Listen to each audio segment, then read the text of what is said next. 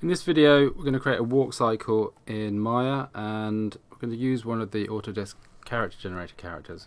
So I've got some character designs, I've got some generated here, so once you've designed it you can generate it with the um, parameters you want to use. So for example this one here has blend shape and quads and it's also got several formats in there that would be useful to me. So if I just click on here for download that will turn up in my downloads folder.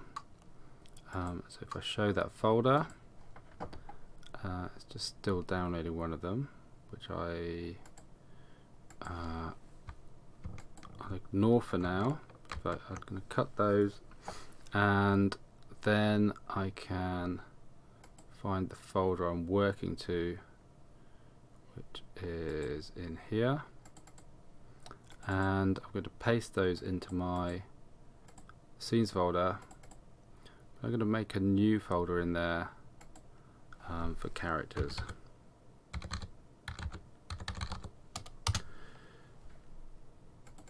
And then paste in the ones that I'm going to work with. So I can see the one was quite large. So the one which had multiple formats of the same character had um, is, is the largest. So uh, and some of the other ones are the free ones. So if you use low crowd, um, you will get free characters. This one here at 47 megabytes is uh, one of the larger ones. So if I extract those files here, uh, extract it to a folder, um, I can see inside of there I've got the FBX file, 3ds Max file, a Unity file, um, and a Maya binary. So those are the formats I'm going to work with. So, but um, in this case, I'm working in Maya, so I will open the Maya binary for this one. Um, so if I flip over to Autodesk Maya, um, open the scene. Now I need to set the project, so I'll make sure I'm in the right project. Uh, week five, Maya, and I'll set that one there. So setting the project again is really important um, it does allow you to link the textures. So in this case it's color JPEG um, which is the uh, textures that we use on this character um, and it won't have to be relinked every time. Now this this is coming in the top view. Zoom out slightly I should see a, a better look. But I'm in the orthographic view. So if I press space it goes back to perspective space top Y. So you can change the panels up here as well, um, perspective or orthographic. Um, in this case we're going to actually look at the side view because uh, we're working on um, a walk cycle so we can see that from the side in this view if I turn on the the textures there so I can see the textures if I want to hide the textures I can just turn that on and off temporarily.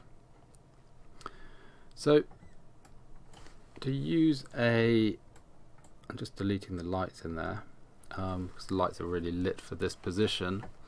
Um, if I want to use a motion capture file, I can go to Windows Content Browser and there are some inside the um, inside the examples within this content browser. So I've got examples here. If I drop down this menu, I go to animations, motion captures, and FBX. So I'll just slide that across for now. So there's quite a few in there. Um, and I'm going to start with the walk. So I can either drag that into the scene, or I'm going to right click it and press import. And you can see here the um, it does have a message saying it's 30 frames per second. This is running at 24 frames per second. So my character is set up slightly wrong. Um, I'm not going to worry about that, but actually, if you are doing motion capture, you should try and match the frame rate of your project. Um, otherwise, you can get some interpolation problems uh, with that as well. Uh, so that's done.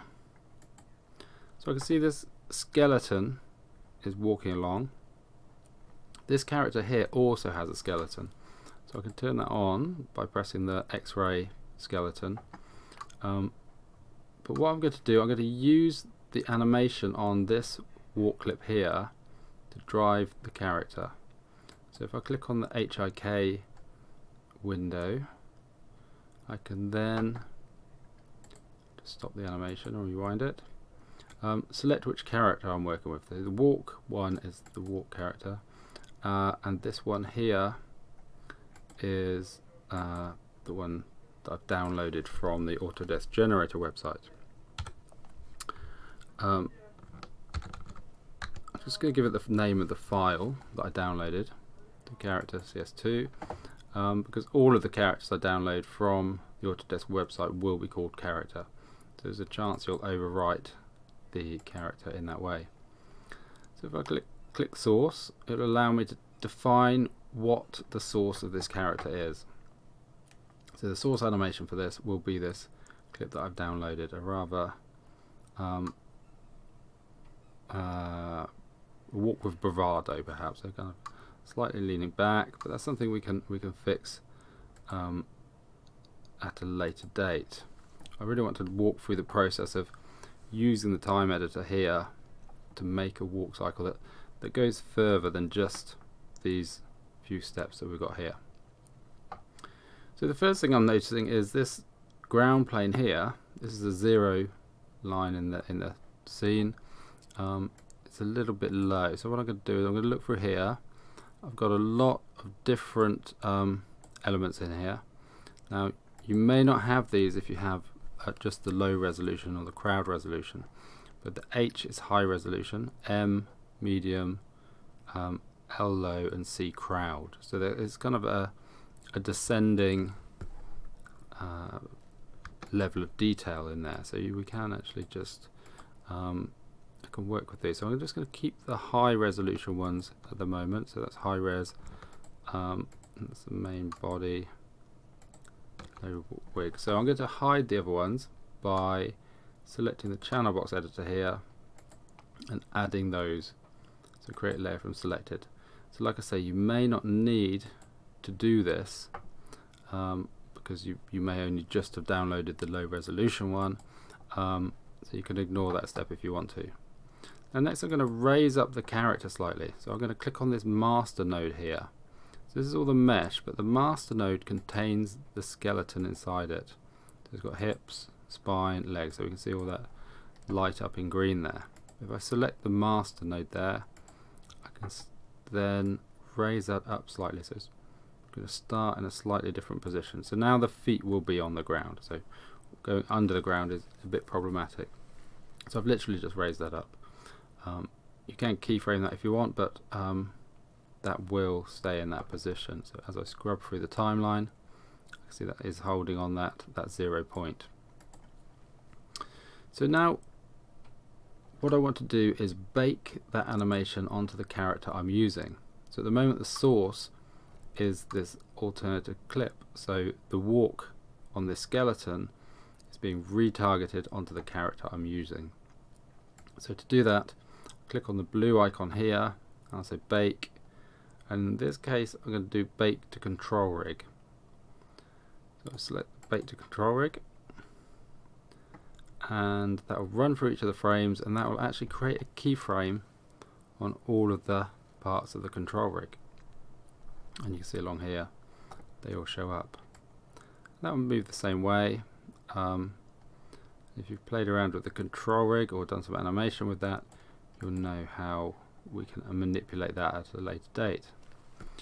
So using the middle mouse button I can just bring this one across um, and then I'm going to select this middle icon here. Now I can see that it's not selecting all of the nodes on this um, and that's selecting single body parts.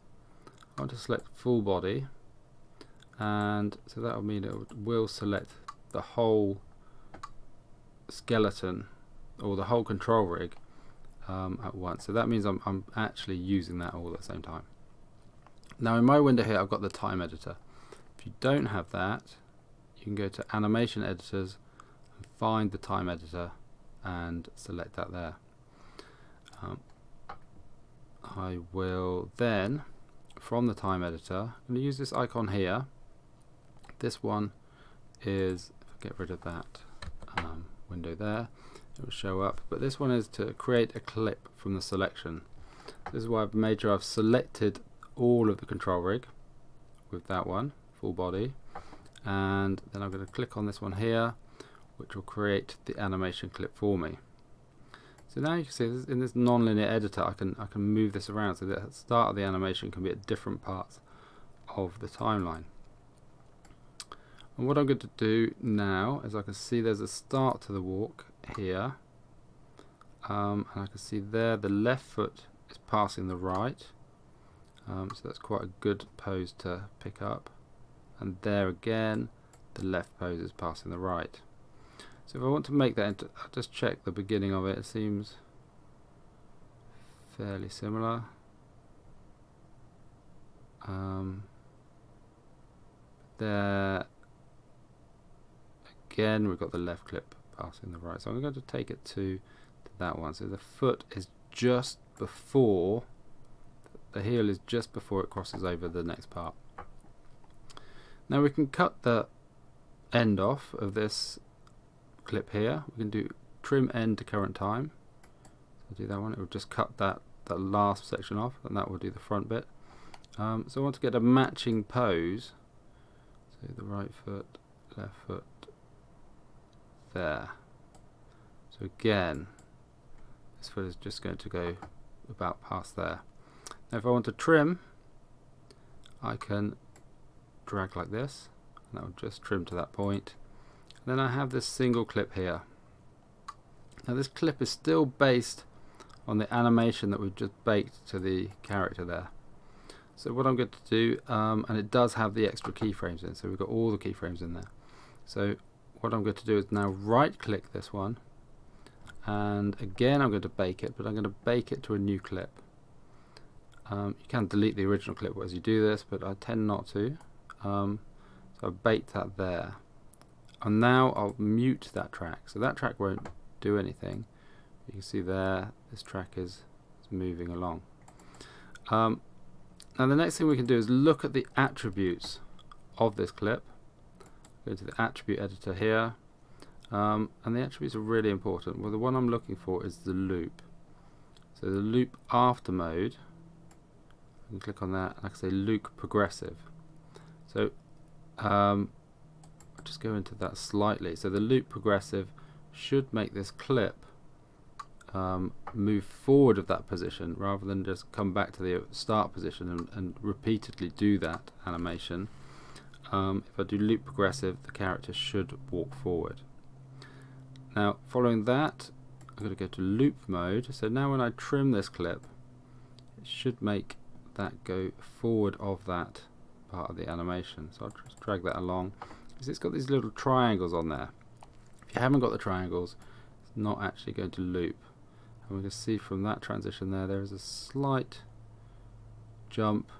Um, but for the sake of this um, animation, we will just play that through and we can see the way that this is taking the first motion of that and the first position of this character and actually making it um, continue walking for a substantial amount of time. Now we could make that a considerably larger number and so just bring that out slightly more. Uh, so if I zoom out and bring that along, um, we should be able to get that character walking for a considerable pace. Now there may be some issues, it may over time raise, just go slightly up, but it seems to be holding fairly well. Um, but I can see there yes it is climbing slightly. Um, and as the animation goes more and more forward it is causing certain issues. So it's not perfect in any way but it will if you get a really good loop cycle walk cycle then you will be able to make that continue um, as far as you want now there's another way of working with this you can um, and this is quite useful to know about so I'm just going to copy and paste that and it puts it onto a new track. I've got a couple of tracks that I'm not using so I'll highlight those, right click and delete those tracks. Um, and then I'll bring this back to this part here. So you can see that that is probably going to provide quite a weird animation. Um, you can see that's changed it quite a lot because I've got two animations playing at once. So I'm going to mute that first one. That will take us back to the, the original clip just on that track. So we can add animation on top of our clip in that way. So I'm just going to bring that down back to the original clip itself and select it, again copy paste, and that puts it on a new track. But I want that to be on the same track, so I'm bringing that around in that way. And I can see as I move through these um, that they're in the same position. They kind of got the same keyframes um, as I play through them. Uh, so this time, what I want to do is to make that character start on this clip, start from the end of the last one. So the position should be the same. So if I highlight this one, I'll right click it, I can click on relocate um, and then I can say match relocators. So I'll let go of that here. Um, and now this is probably a tricky part. It's not actually very tricky, but I can um, click on control reference and I can then find the last one on the list here control hips okay so that is right in the center of this character and that controls the whole skeleton so control hips is the effector I'm using in this and I put that into the match object um, I'm going to go through here and just say I've actually selected match time which is end of the first clip so we want to use that point here on the last frame of that clip to position this clip in that space. The other thing I've done, I've turned rotation off. If I turn rotation off, hopefully it won't start um, walking up off the, into the into the air. Um, so that's quite a useful one to know about. Sometimes the foot would rotate slightly and it would um, increase over time. So I'm just using the translation position as we go forward. Um, and with that set up, I can press match. You can see that jumps forward. So that should make that position of that clip match with the previous clip. Um, still a slight edit I need to do to the that jump cut, but that will actually allow me to move through these clips, have a second clip come in, um, and potentially have a different clip. The character might turn right or up or down. Um, and I can look at the content browser find another clip that I might want to have afterwards. Um, so I'm going to say walk uh, turn 180. So I'm going to get the character to walk back the other way. So I can import that one.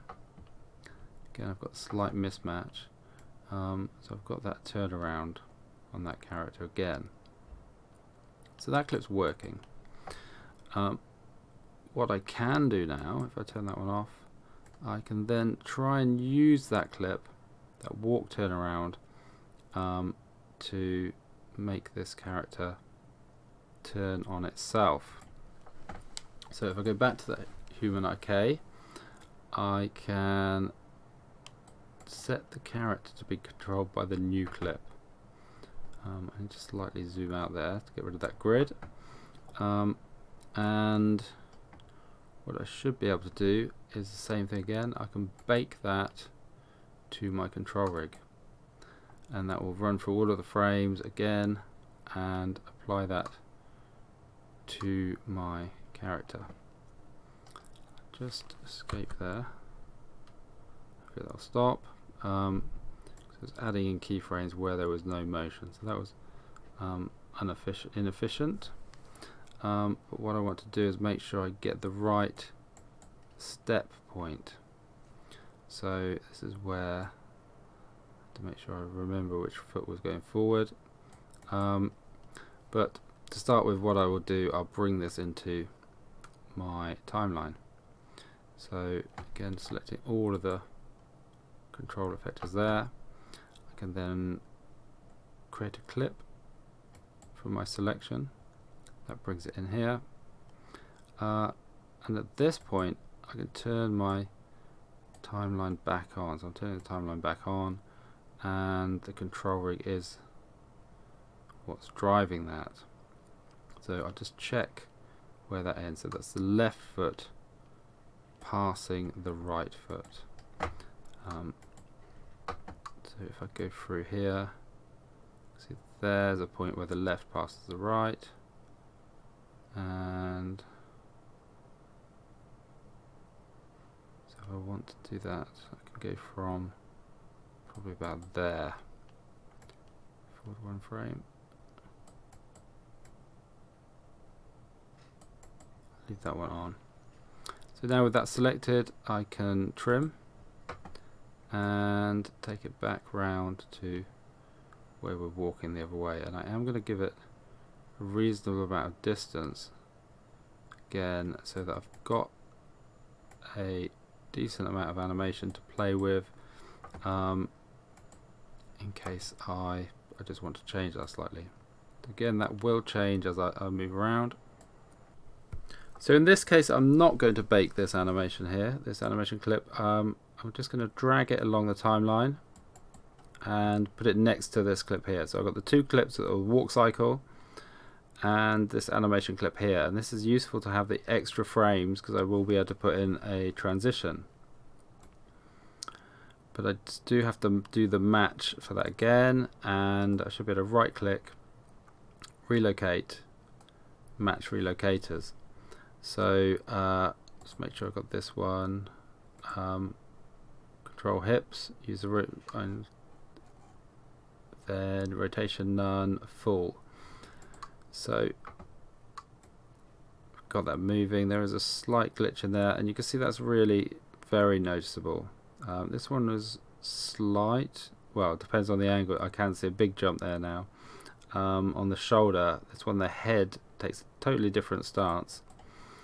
Um, but it does carry on through, rotate and walk back.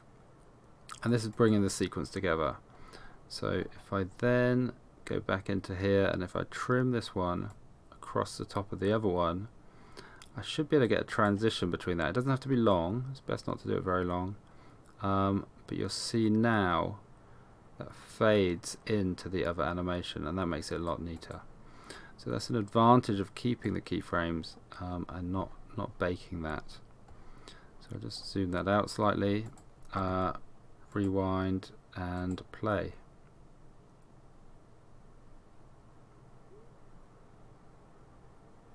and that's uh, an edit of the two clips together uh, and it starts building up my scene with that. So we look at that in the slightly different view, perspective view, we should be able to see how that comes together in a scene. So there my camera hasn't quite got a long enough view, so I'll select the camera and change the far clip plane, which was very low. Um, and now I should be able to see at all all zoom points.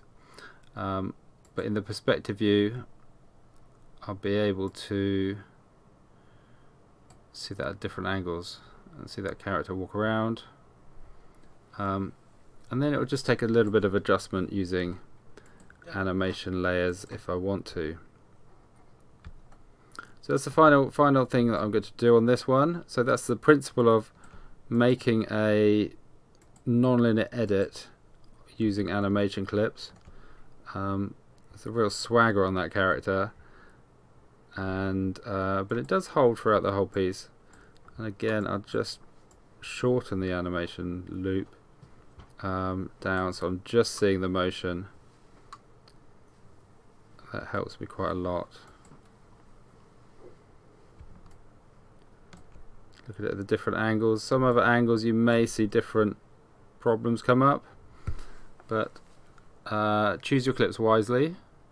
Try and have a long handles on them so you can get a small fade to make them work well.